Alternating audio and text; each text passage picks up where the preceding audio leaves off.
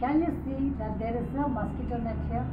I can't see. It is so transparent and so translucent. It looks so beautiful actually.